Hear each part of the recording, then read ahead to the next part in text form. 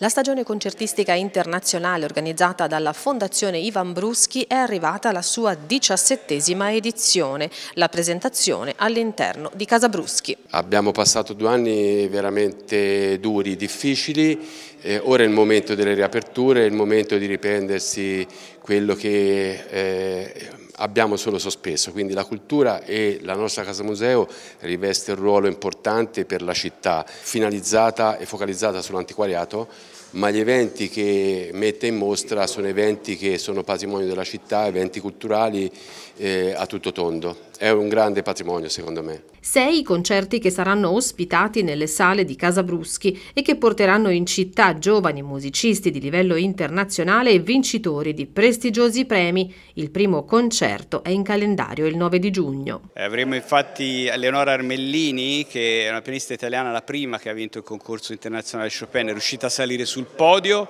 Dobbiamo pensare che lo Chopin è il concorso internazionale più importante al mondo, quindi non è un concorso come gli altri arrivare sul podio vuol dire già essere un'eccellenza assoluta.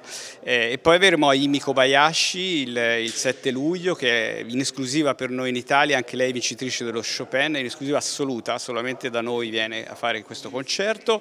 E poi abbiamo il, eh, Hong Park che ha vinto il Busoni sempre l'anno scorso, concorso internazionale, quindi veramente un livello altissimo che solamente il Museo Bruschi riesce a garantire. Io vorrei ricordare che alcuni dei più grandi grandi pianisti contemporanei come Trifonov eh, hanno suonato da noi quando erano giovanissimi che nessuno conosceva e quindi veramente se qualcuno vuole vedere le star di domani deve venire qua.